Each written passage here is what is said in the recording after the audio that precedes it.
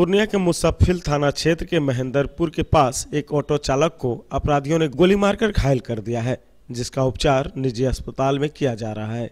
घटना के संदर्भ में बताया जाता है कि ऑटो चालक उमेश कुमार दास लाइन बाज़ार से चार सवारी को लेकर महेंद्रपुर जा रहा था। इसी क्रम में रास्ते में ऑटो सवार अपराधियों ने ड्राइवर से मारपीट करते हुए सर में एक गोली मार दी, जिससे वह गंभीर रूप से घायल हो गया। स्थानीय लोगों की मदद से उसे उपचार के लिए अस्पताल पहुँचाया गया जहाँ उसका इलाज जारी है। इस संदर्भ में पुलिस ने मामला दर्ज कर जाँच प्रारंभ कर दी है।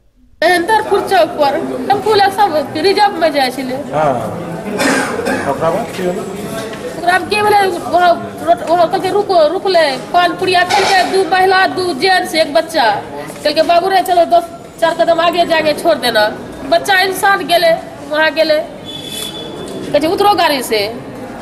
कहलकै सर काहे हम गाड़ी से उतरेंगे किराया दीजिए हम घर जाएँगे गरीब आदमी है। छै पैसा ले गाड़ी थोड़िए देंगे करपट्टिए उड़ा देंगे। बस सर बच्चा के सर काहे ऐसे करते हैं? खेल खेल ठीक है खेल नहीं ऐसा मत कीजिए सर।